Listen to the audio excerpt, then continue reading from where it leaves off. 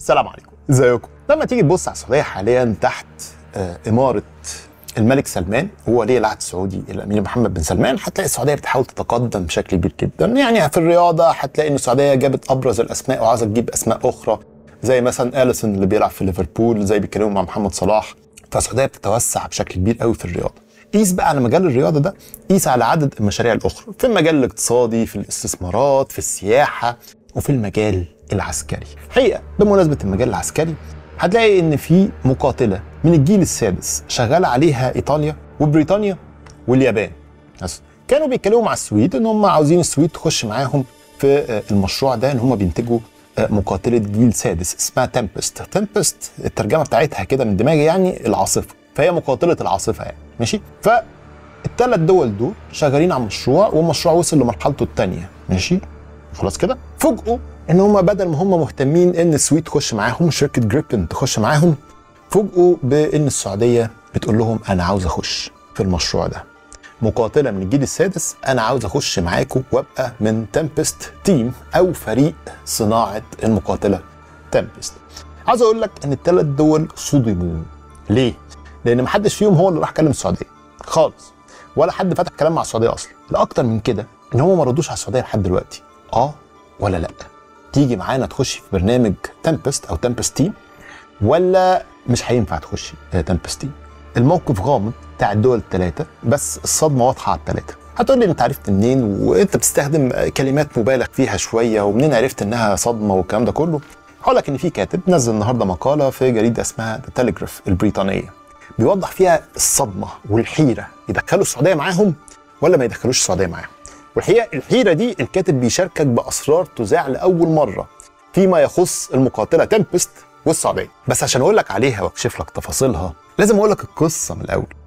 كشفت صحيفة فاينانشال تايمز البريطانية عن نية السعودية العمل للانضمام إلى كل من بريطانيا، اليابان وإيطاليا في مشروع بناء طائرة مقاتلة من الجيل السادس المعروفة ب Tempest تعتبر السعودية شريكا رئيسيا في برنامج المقاتلات.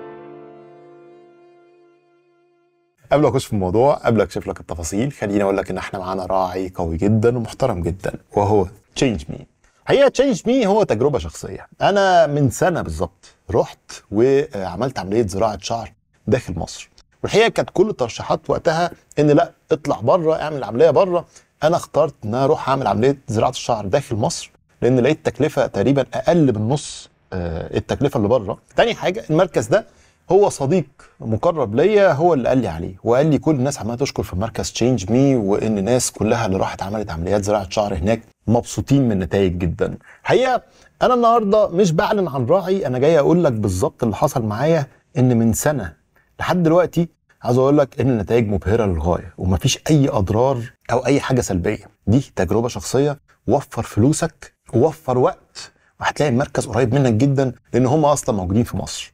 مش بس كده مركز Change Me عاوز أقول لك إن هو عنده أفضل الدكاترة الموجودة وهو مركز متكامل لعمليات التجميل كلها. سنان بقى بوتوكس مش بوتوكس كل اللي أنت عاوزه هتلاقيه هناك. Change Me هو المكان الصح. سيب لحضرتك الرابط بتاعهم أسفل الفيديو لو حابب تابع معاهم. نخش في الموضوع على طول. نخش في الموضوع على طول. إيه الجديد اللي معانا النهارده؟ ممكن يكون مختلف بالنسبة لحضرتك وأول مرة هتسمعه فيما يخص المقاتلة Tempest الموضوع كله ابتدى منين؟ بص يا سيدي دلوقتي أوروبا لا تمتلك مقاتلة جيل سادس. يعني يعني خلي بالك في دلوقتي مقاتلات من الجيل الرابع ودي الأكثر انتشارا ودي موجودة في أوروبا. آه، في مقاتلة جيل رابع اسمها ال Eurofighter Typhoon ومقاتلة فرنسية اسمها رافال. خلاص دول مقاتلات الجيل الرابع في أوروبا. بس أوروبا حاليا ما عندهاش مقاتلات من الجيل الخامس خالص. ما عندهاش. اللي بيمتلك مقاتلات من الجيل الخامس هي أمريكا اللي عندها مقاتلة اللي هي اف 22 رابتر واف 35 وروسيا اللي عندها السخوي 57 والصين اللي عندها مقاتلة من الجيل الخامس. والحقيقة أوروبا حاسة بتأخر في الموضوع خاصة إن في حرب روسيا اوكرانيا شغالة. فحاسين إن مقاتلات الجيل الخامس يعني ما ينفعش إن هم يبتدوا فيها دلوقتي. خلاص الموضوع سبقهم وأمريكا already عندها مقاتلات الجيل الخامس. وأنت شايف الدنيا ماشية إزاي؟ فلو حبوا إن هم يبتدوا في إنتاج مقاتلة جيل خامس هتاخد على الأقل على الأقل خمس سنين. فقال لك بدل ما نبتدي في مقاتلة جيل خامس هنبتدي مقاتلة جيل سادس. طب مين أكتر دول كانت متحمسة لحاجة زي كده؟ هي إيطاليا. على فكرة إيطاليا عندها مشاكل اقتصادية ضخمة جدا بس برغم كده عندهم هوس المقاتلات. فإيطاليا كانت هتشتغل على مقاتلة جيل سادس لوحدها وقالت والله أنا هشتغل على المشروع ده وبعدين قالت لأ أنا مش ماشية في الموضوع ده كويس قوي. فطلع قائد القوات الجوية الإيطالية وسافر اليابان. في محادثات مع اليابان إن إيطاليا واليابان يشتغلوا مع بعض في إنتاج مقاتلة جيل سادس. جيل سادس. يتم الكشف عنه بعد بقى خمس سنين ست سنين بس إيطاليا واليابان هيشتركوا في مقاتلة جيل سادس وما سموهاش حد خالص. لحد ما ريشي سوناك رئيس الوزراء البريطاني طلع قال إن إنجلترا مهتمية جدا إنها تخش في مشروع Tempest والحقيقة إن إيطاليا كانت بتفكر في السويد بس لما لقت بريطانيا دخلت اتشجعت جدا لأن بريطانيا عندها خبرة كبيرة جدا في المقاتلات فبريطانيا هي ثالث عضو في فريق team Tempest We're making an incredibly important announcement today. We're one of the few countries in the world that has the capability to build technologically advanced fighter aircraft. That's important because it means we can keep the country safe from the new threats we face. It also adds billions to our economy and supports tens of thousands of jobs across the country. لو خدت بالك هتلاقي في دول كبرى في اوروبا مش موجوده زي فرنسا مثلا مش موجوده في الفريق ده آه، زي آه، المانيا مش موجوده في الفريق ده والسويد قالت لك هندرس الوضع ونرد عليكم ليه؟ لأن شركة جريبن السويدية لسه واخدة عقد بإنتاج مقاتلة جديدة من الحكومة السويدية فتقريبا كده هي يعني منشغلة شوية ومش عاوزة تشارك حد. آه، السويد ناجحة جدا في المقاتلة بتاعتها أو دي وجهة نظرهم يعني إن مقاتلة Gripen دي آه، محققة نجاحات بالنسبة للسويد. فمش عاوزين إن هم يشاركوا أو يخشوا في team Tempest بشكل كبير. فظلت إن إنجلترا وإيطاليا واليابان بيشتركوا في مقاتلة جيل سادس. تبقى جديدة تماما. وممكن يتم إطلاقها مع مقاتلة الجيل السادس الامريكيه ماشي؟ آه على فكرة آه مقاتلة الجيل السادس الأمريكية اسمها انجاد خلاص؟ آه مقاتلة هتبقى كبيرة جدا. أعلن الجيش الأمريكي أنه سيحسم المنافسة بين الشركات الأمريكية على تنفيذ مقاتلة الجيل السادس الجديدة خلال العام المقبل. مقاتلة الهيمنة الجوية الجديدة والمعروفة باسم إنجاد ستحل محل مقاتلات F-22 رابتور التي تخدم بالجيش الأمريكي منذ عام 2005 هتيجي تقول لي طب هو إيه الفرق بين آه، مقاتلة الجيل الخامس ومقاتلات الجيل السادس؟ هقول لك بشكل بسيط كده يعني حاجة مبسطة جدا. بص مقاتلات الجيل الخامس المفروض فيها تكنولوجيا أعلى بكتير جدا من مقاتلات الجيل الرابع وبتغطي مسافات أبعد من مقاتلات الجيل الرابع. والمفروض إنها بتشيل صواريخ وحمولة قوية. مش شرط قوية إنها حمولة تقيلة بس حمولة قوية إنها تعرف إنها تشيل صواريخ hypersonic مثلا أو صواريخ فرط صوتية يصعب التقاطها أكتر بكتير من مقاتلات الجيل الرابع بشكل كبير جدا. يعني ال F 35 مثلا وال F 22 Raptor يصعب جدا آه، التقاطهم بالرادارات عن آه، ال Rafale وال Eurofighter. ال Eurofighter هيتلقطوا كده بالنسبة لانظمه الدفاع الجوي مقابل طيارات الجيل الخامس. بس وأديك شايف أهو. فطيارات الجيل السادس بقى لا. اولا طيارات الجيل السادس بيتكلموا إنها هتبقى آه، مقاتلات طيارات بدون طيار. يعني آه، حاطين لوحدها. فهم نسختين نسخة طيارات بدون طيار ونسخة بيقودها طيار. طيب آه، النسخة اللي بيقودها طيار في مقاتلات الجيل السادس دي هتكون عاملة إزاي؟ هيبقى الطيار طالع وبيقود مش طيارة بيقود سرب. يعني خد بالك الطيارة المقاتله الطيار اللي جواها دي هيكون بيتحكم في طيارات جنبه كمان. دي مقاتلات الجيل السادس. تاني حاجة المقاتلة دي هتطير مسافات أبعد بكتير من اللي بتغطيها مقاتلات الجيل الخامس. آه، أبعد. خلاص؟ الحمولة بتاعتها أكبر. هايبرسونكس وممكن كمان تشيل أسلحة حديثة. اللي طالع إن استحالة استحالة يتم التقاطها نتيجة لصمتها التام.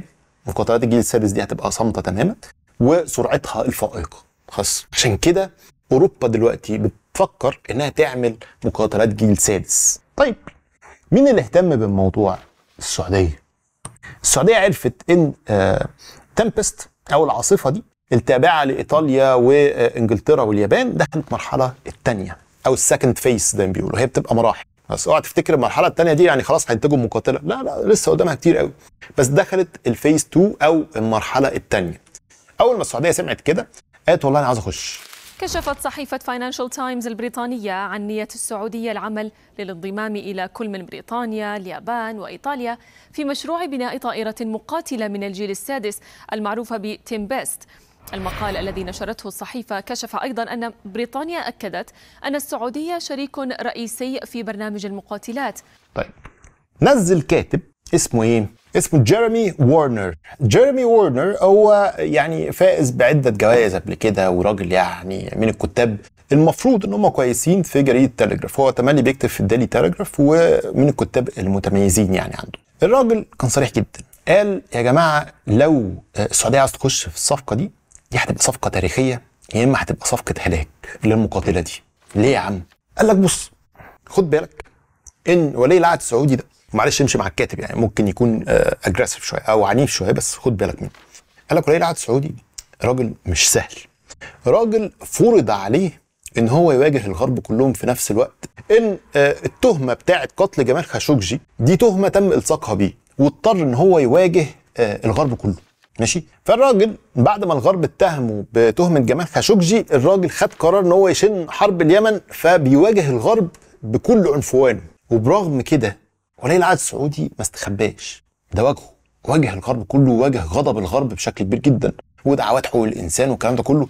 ولي العهد السعودي كان قوي جدا وحازم في مواجهة كل الدعوات الغربية والحرب الإعلامية الشرسة اللي تم شنها على السعودية وعلى ولي العهد. وعاوز أقول لك ان من ضمن شجاعة ولي العهد ان هو كان بيشتغل في ظل الضغوط الغربية القوية جدا عليه. فالكاتب بيحذر ان انت قدام راجل مش سهل. راجل قدر يواجه الغرب كله بعزم ما فيه. وهو ما كانش قوي زي دلوقتي. يعني خلي بالك ولي العهد السعودي دلوقتي أو السعودية اقوى بكتير من أيام قضية جمال خاشقجي فالراجل بيحذر ويقول لك خد بالك انت هتخش مع واحد مش سهل هتدخله الفريق بتاعك. خد بالك من الحتة دي. تاني حاجة الراجل متفائل وبيقول لك خد بالك إن العلاقات السعودية البريطانية مشهود ليها على مدار التاريخ إنها بتاعت الصفقات الكبرى. إيه الصفقات الكبرى؟ قال لك على فكرة السعودية 1985 وقعت اتفاقية مع بريطانيا تسمى باتفاقية دفاعية اليمامة أو آه، اتفاقية اليمامة الدفاعية. إيه اتفاقية اليمامة الدفاعية دي؟ السعودية هتشتري أحدث مقاتلات في الجيل ده من آه، بريطانيا اسمها التورنيدو خلاص التورنيدو دي كانت طيارات بريطانية كانت الأحدث في الوقت ده. السعودية اشتريتها مقابل قد إيه؟ مقابل 43 مليار دولار. والصفقة دي صفقة ضخمة جدا مش بسبب إنها 43 مليار دولار لا بسبب الرشاوي اللي خدها البريطانيين مقابل الصفقة دي. يعني السعودية دفعت لوزارة الدفاع البريطانية 43 بس دفعت رشاوي أكتر لأن البريطانيين معروفين إن هم عندهم مشكلة في صفقات الدفاع في الوقت ده بتاع مارجريت تاتشر فممكن الصفقة تكون عدت 5 مليار أصلا. شوف قد إيه ممكن تكون الصفقة عدت 5 مليار. بس صفقة اليمامة دي كانت الأبرز بين وزارة الدفاع البريطانية أو شركة BAE System اللي هي بريطانية ووزارة الدفاع السعودية في الوقت ده. مش بس كده حصل صفقة تانية إن السعودية اشترت آه، ال Typhoon Eurofighter من آه، بريطانيا. وخدت 72 آه، مقاتلة Eurofighter. خلاص. فالعلاقات السعودية البريطانيه معروفة جدا إنها صفقات تاريخية. دفاعي بريطاني رفيع المستوى أن السعودية هي إحدى الشركاء الاستراتيجيين للمملكة المتحدة. والدفاع البريطاني حريص على تعميق العمل في برنامج القتال الجوي العالمي. وأضاف المصدر البريطاني أن بلاده تعتبر السعودية شريكا رئيسيا في برنامج المقاتلات وتعمل على ضمان تحقيق تقدم قوي في أسرع وقت ممكن. فالراجل بيقول ممكن دي تبقى واحدة منهم. صفقة تاريخية والسعودية تخش معاك في المقاتلة الحديثة. بس الراجل بيقول في بعض المخاوف الدول الثلاثه خايفين منها. إيه هي؟ اولا حاجة بسيطة جدا. إن السعودية لو دخلت معاك في المقاتلة دي أنت ما ينفعش تتدخل في شان داخلي السعودي. يعني إيه؟ يعني ما ينفعش أي دولة من الثلاثه تيجي تقول أو تنتقد الوضع الداخلي في السعودية. ما ينفعش. دي زميلتك في صنع المقاتلة تمبست هتبقى نوع من أنواع الشراكة الدفاعية. خد بالك ده مش هتبقى صفقة عادية دي شريكتك. بس وأنت مش عاوز شريك من الأربعة يقع. فأنت هتبقى إيه؟ مهتم جدا إن شريكتك ما ينفعش تحاول انتقادها أو تسيء ليها أو حاجة دي شغالة معاك في نفس الموضوع وبتصرف زيها زيك. ماشي؟ طيب. والمشكلة هنا إن أكتر دولة ممكن توجه انتقاد أو مخاوف بتاعة الكاتب إن الدولة دي توجه انتقاد هي اليابان. قال لك والله اليابان لو شافت حاجة ممكن تحب تنتقد السعودية مش تعرف تمبست شغال. ماشي. طب إيه المخاوف التانية؟ قال لك مخاوف التانية إن يا باشا نفس مخاوف أمريكا مع الإمارات ممكن تبقى نفس مخاوف الدول الثلاثه مع السعودية اللي هي إيه؟ اللي هي إن الإمارات وقعت على اتفاقية إبراهيم في مقابل إنها تحصل على المقاتلة اف 35 ما حصلش. ليه؟ لأن أمريكا جت في آخر لحظة وتخوفت من علاقة الإمارات بالصين. That um, our commitment to uh, Israel's qualitative military edge is assured, so we wanted to make sure that we could do a full review of any technologies that are, that are sold or transferred to, to other partners in the region, uh, including the UAE. وان علاقه الامارات بالصين قويه فتخوفت ان الامارات لو حصل خلاف مع الامريكان يعني ممكن تسرب التكنولوجيا دي للصين وتسربها مش عن طريق عمد هي تسمح بس لبعض المسؤولين الصينيين خلال اي مناوره زي اللي هتحصل آه، بعد كام يوم دي بين الإمارات والصين مسؤولين صينيين يطلعوا على المقاتلة دي. وشكرا الصينيين مش عايزين أكتر من كده. فأمريكا تخوفت من إرسال المقاتلة اف 35 للامارات فما تجيش أنت كبريطانيا وإيطاليا واليابان يهدوا المقاتلة بتاعت الجيل السادس للصين عن طريق السعودية. لأن خلي بالك في الدول الأعضاء الأربعة لو السعودية دخلت معاهم هتبقى السعودية أكتر دولة أو أكتر عضو بيتمتع بعلاقات عسكرية مع الصين أكتر من أي دولة تانية. فخد بالك إن السعودية لو دخلت هيبقى في مخاوف من إن آه، الأسرار اللي أنت هتستثمر فيها لمدة ست سنين التكنولوجيا اللي هتستثمر فيها لمدة ست سنين الصين هتاخدها على طبق جاهز. وخلي بالك وبرضه هو بيقول لك خلي بالك إن الصين عندها هواية في ركوب التكنولوجيا. يعني إيه؟ يعني الصين تقريبا كده. كل سلاح الجو بتاعها سرقاه من أمريكا. ومعدله عليه. بيخترقوا أو ال- الهاكرز الصينيين بيخترقوا برنامج صنع المقاتلات يسرقوه وينشئوا المقاتلات ويعدلوا عليها. ماشي؟ فالراجل بيقول لك دي هواية صينية وخلي بالك إن الصينيين موجودين في السعودية أصلا. فأنت كده بتخاطر إن البرنامج ده ممكن يفشل من قبل ما يطلع. وفشلوا هنا مش إن هو ينهار فشلوا إن تبقى الصين هي اللي معاك مش السعودية. ده الكاتب هو بيقول كده. فخد بالك. تالت حاجة. قال لك إن تالت عضو ده هو مشكلة لأن إيطاليا وبريطانيا حتى لو شافوا إن هم ما عندوش مشكلة إن التكنولوجيا دي تبقى في خطر مع الصين اليابان مش هتسمح لأن اليابان عندها عداء مع الصين واليابان مش هتحط تكنولوجيا وأفضل تكنولوجيا عندها في المشروع وتشوف إن هو معرض للاختراق من قبل الصين. صحيفة يابانية قالت بأن البلدين سيتفقان على تطوير على تطوير مشترك لصاروخ اعتراضي لمواجهة الصواريخ التي تفوق سرعتها سرعة الصوت. أما الهدف والغاية فهو استهداف الأسلحة المصممة لتفادي الدفاعات المضادة للصواريخ البالستية الحالية والتي تطورها كل من الصين وروسيا وكوريا الشمالية. فأكيد أكيد اليابان مش هتحط أفضل تكنولوجيا عندها وهيبقى الموضوع معرض لقله الكفاءة خلي بالك أنا بقول لك اللي أنا فهمته من المقالة مش نصيا يعني. فالراجل متخوف من كده. أخيرا وليس أخيرا هو شايف إن آه أنت كده بتحط التكنولوجيا بتاعتك في السعودية وبتشارك مع دولة عربية ودي أول مرة تحصل إن يتم صنع مقاتلة أوروبية يابانية آه بدعم عربي. ما حصلتش. يعني ما اتشافتش قبل كده خاصة لو مقاتلة جيل سادس. طيب. آخر نقطة قال لك السعودية مهتمية بالمقاتلة لسبب غير واضح. وهي إيه؟ وهي إن السعودية شايفة إن تيم تمبس ده ملائم جدا لطلباتها لأن ألمانيا مش موجودة. ليه؟ لأن لما حصلت قضية خاشوجي بتاعت جمال خاشوجي ألمانيا كانت أبرز دولة تفرض عقوبات على السعودية ومنعت إرسال أسلحة للسعودية. ماشي. عكس بريطانيا. بريطانيا ظاهريا فرضت آه، بتاع بس آه، تحت الترابيزة شغالين زي الفل. هذا وزير الدولة للشؤون الخارجية عادل الجبير حظر ألمانيا تصدير الأسلحة الذي يستهدف المملكة واصفا القرار بالخاطئ. وأكد الجبير أن المملكة لا تحتاج إلى معدات عسكرية. فالمانيا مش موجودة في النظام ده فالسعوديه متحمسة.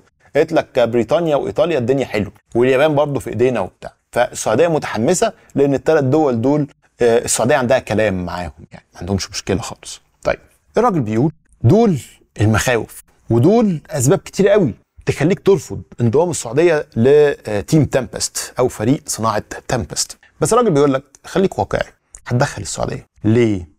لأن لو بصيت كده هتلاقي إن في عز قضية جمال خاشوجي الشركة بتاعت توني بلير اللي هو رئيس وزراء بريطانيا السابق كانت لسه بتدي استشارات لولي العهد السعودي. في ظل إن أوروبا كلها والغرب قالب على ولي العهد السعودي توني بلير وشركته بيشتغلوا مع ولي العهد السعودي من غير أي حاجة. ولما سألوا توني بلير قالوا له أنت إزاي بتشتغل مع ولي العهد السعودي؟ والراجل ده موجه له اتهامات كتيرة جدا. قال لهم أنا بقدم خدمات وأنا شايف إن ده أفضل وقت إن أنت تشير أو تنصح ولي العهد السعودي. قالت صحيفة ساندي تيليغراف البريطانية إن رئيس الوزراء السابق توني بلير وقع اتفاقية مع المملكة العربية السعودية بحوالي 12 مليون دولار لتقديم استشارات للحكومة السعودية. ووقعت الحكومة السعودية الاتفاق مع معهد التغيير العالمي التابع لبلير لمساعدة ولي العهد محمد بن سلمان على تنفيذ رؤيته 2030 للمملكة.